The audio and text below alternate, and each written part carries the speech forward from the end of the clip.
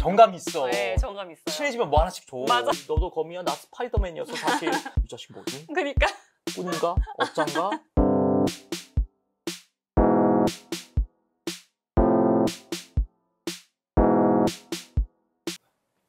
네 여러분 반갑습니다. 순위 정해주는 남매, 남매. 이름하여 순정 남매입니다. 남매입니다. 오늘 또 이렇게 새로운 순위님께서 와주셨습니다. 순이 안녕. 안녕. 여러분 안녕하세요. 저는 순위 중에 최고의 똑순이 강재현입니다. 아니 제가 이제 제 동생이 올 1월에 이제 자취방을 구하느라고 대구에 내려갔는데 저도 음. 같이 내려가서 네, 제 동생 자취방을 열심히 구하러 다녔거든요. 몇 군데 보셨어요? 한 10군데 정도, 50군데 정도 봤는데 이게 또 오. 구하는 게 쉽지가 않더라고요. 아 맞습니다. 저희가 때마침 이런 순이님 거의 준 전문가를 모신 데는요 오늘 주제와도 다 상관이 있습니다. 맞습니다. 요즘 한창 이것 때문에 고민하시는 분도 많을 겁니다. 근데 맞아요. 고민만 하지 막상 알아보기는 어려워. 네. 근데 이거를 남의 손에 맡겨두면 결국 여러분들이 계약하고 난 다음에 살면서 꼭 후회를 하거든. 그래서 준비한 집 알아볼 때 반드시 따져봐야 될 체크리스트입니다. 아니 우리가 집을 보러 다녔는데 집을 보는 게 아니라 집 바깥을 보라고요? 아니 무슨 뭐 건물의 근가든지 그걸 보는 건가? 이게 은근 간과하기가 쉬운 건데요. 예. 집 주변 환경을 봐야 되는 거예요. 아. 이집 주변에 얼마나 편리한 그런 기관들이 있는지, 아. 뭐 예를 들어서 편의점이 몇 분 거리에 있는지, 중요하죠. 대중교통은 있는지, 음. 그리고 1인 가구들이 많잖아요, 요즘에. 네. 그렇기 때문에 코인 세탁소나 병원, 약국들은 있는지를 체크하는 거예요. 아 특히나 여성분들은 네. 근데 뭐 순희 씨 같은 경우는 가족분이랑 사시니까 네. 여성분들 뭐 직장 때문이라든지 학교 때문에 혼자 사시는 분들 계시거든요. 그렇죠. 그런 분들에겐 치안이 정말 중요해. 네. 그렇기 때문에 여기서 순정 티 하나 나갑니다.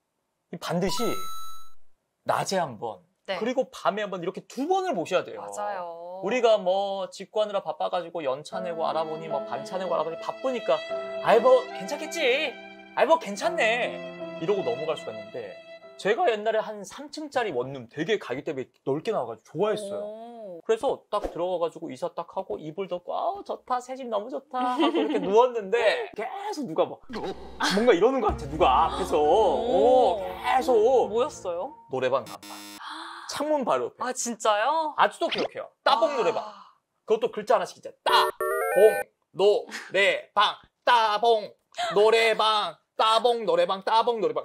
아이고. 아, 그래가지고 힘드셨겠어요. 진짜 안대를 하나 샀습니다. 아. 그러니까 여러분도 저처럼 실수하지 마시고 꼭 낮과 밤 둘 다 가보시라.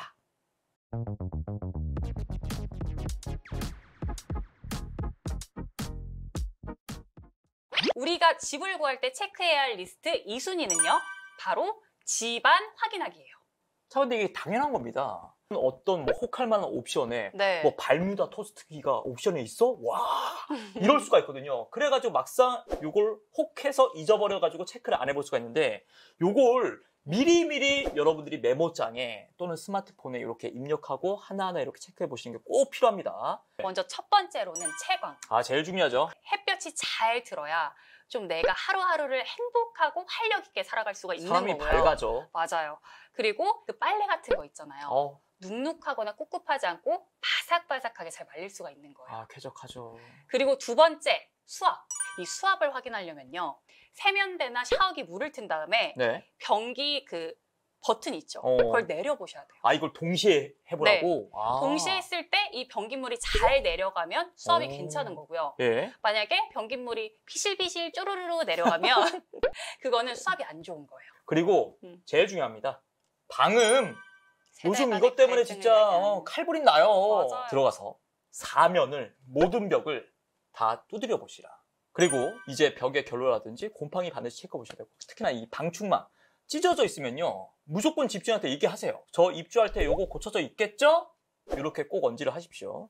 특히 옵션의 경우에는 계약하기 전에 미리미리 집에 가서 이게 문제가 없는지 체크를 하시고 또 가장 중요한 거 사진을 찰칵 찍어두셔야 음. 돼요. 사진을 찍어서 집주인한테 고지를 해야지 이 집주인이 나중에 나한테 좀 불리한 네. 그런 음. 행동을 안할 네. 수가 있는 거죠. 그리고 약간 좀 비용이 많이 들어가는 문제다. 뭐 에어컨 고장이라든지 이런 것들은 계약서에 부칙으로 얼마든지 적어달라고 하십시오. 네. 어, 입주 시점을 기준으로 해가지고 에어컨은 수리를 해놓는다. 네. 집주인 부담으로. 음. 이런 식으로.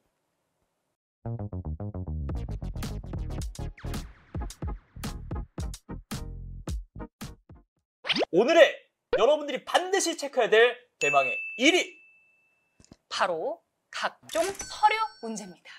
기본 중에 기본은 등기부 등본입니다.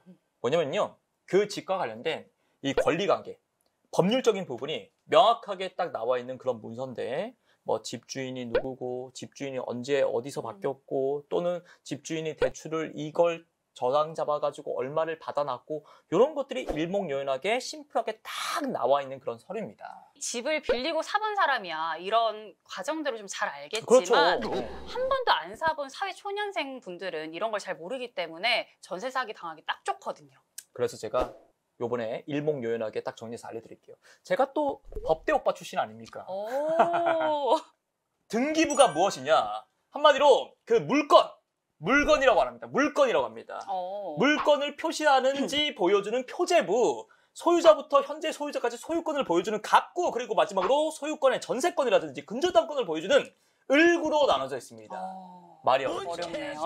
자, 심플하게 말해서 여러분들 뭘 확인해야 되냐? 일단 소유자, 김영순이라고 등기부에 적혀져 있어요. 네. 그럼 계약도 김영순이 하셔야 됩니다. 어. 김영순의 남편과 하시면 안 돼요. 어. 특히나 김영순, 김영순인데 동명이인일 수 있잖아요. 그럼요. 동일한 사람인지 요것도 신분증으로 대조해 보시면서 확인해 보셔야 오, 됩니다. 그래야겠네요. 요게 바로 이제 소유자 그리고 각종 권리 관계가 있는데 한마디로 그 부동산에 대출이 얼마나 잡혀 있는지 음. 요거 반드시 따져 보셔야 됩니다. 예를 들어서 그 집이 1억짜리야. 네. 근데 대출이 8천이 잡혀져 있어. 어. 근데 나는 전세로 5천을 들어간단 말이죠. 네. 나중에 집주인이 망했다.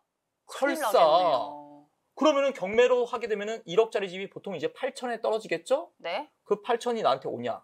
안안 오죠. 오죠. 나보다 누가 먼저 있죠? 은행. 그렇죠. 은행한테 다 가고 나는 골치 아프게 그냥 이렇게 빈털터리 남게 된다. 그러니까 이런 것들 반드시 미리 따져오셔야 됩니다. 등기부 등본은 대법원 인터넷 등기소에서 발급을 받으실 수가 있는데요. 네. 열람은 700원, 그리고 인쇄는 1000원을 주고 발급을 받으실 수가 있어요. 음. 근데 이런 과정이 너무 복잡하다 하시는 분들이 있을 수 있잖아요. 그런 분들은 전문 중개사를 통해서 발급을 받으실 수가 있으니까 네. 그런 걱정하실 필요도 없겠습니다. 등기부 등본 외에 나는 좀 더 숨겨진 그런 history를 알고 싶다. 좀 더 이렇게 디테일하게 파고들고 싶다. 그런 분들을 위한 서비스가 있다면서요. 네, 맞아요. 그걸 바로 내 집 스캔이라고 해서 음. 전월세 사기 위험도 리포트를 만들어주는 유료 서비스인데요. 이 서비스를 활용하면 이 집 주인이 사기꾼인지 악성 임대인인지 그런 음. 거를 좀 알려준다고 합니다. 또 비용도 저렴해서 만 원 정도의 비용을 지불하면 이 집 주인의 히스토리를 알려준다고 하니까 써볼 만 하죠. 그리고 요즘 들어가지고 이 전세 사기가 원체 이슈가 되다 보니까 맞아요. 이제 다들 아실 겁니다. 전세금 반환 보증보. 이걸 이제 심플하게 표현하면요. 여러분들이 일정 금액의 보험료만 내시면은 국가에서 그 전세금을 안 돌려주는 정말 큰일 날 그런 위험에 대해서 보험을 들어주는 겁니다. 네. 예를 들어서 집주인이 연락이 안 돼. 나 전세금 1억 받아야 되는데. 그러면은 국가한테 말해. 얘가 1억 안 돌려줘요 하면은 알았어. 일단 내가 1억 내줄게. 너 바- 받아. 그리고 딴 집 알아봐. 그리고 나중에 국가가 그 집주인한테 어떻게든 막 청구를 하는 거지. 네. 든든하잖아요. 그렇죠. 가입 안 할 이유가 없습니다. 맞습니다. 특히나 가입할 수 있는 루트도 되게 다양해요. 맞아요. 보증보험은 이를 보증하는 기관에 따라서 허그, 음. HF, SGI 이렇게 세 개로 나눠져 있는데요. 이 특성이나 보증하는 금액이 다 다르다고 하니까 내가 어떤 집을 계약하느냐에 따라서 보증보험을 들어주시면 될 것 같아요.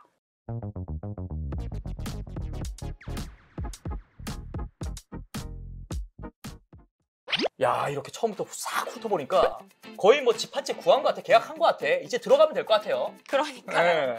아니 저도 진짜 처음 집을 알아보는 순간부터 집을 체크하는 거 그리고 계약하는 순간까지 음. 이세 단계를 쫙 훑어보니까 진짜 이제는 정말 집을 쉽게 구할 수 있을 것 같아요. 아 맞아요. 이게 사실 우리가 살면서 자주 하면은 2년에 한 번은 무조건 돌아오고요.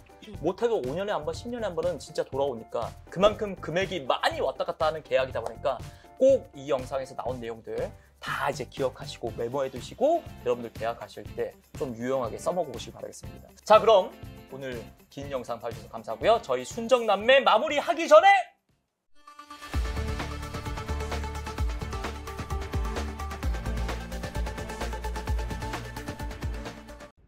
오늘 순정남매 구독자와 조회수 날씨가 잔뜩 흐린데요.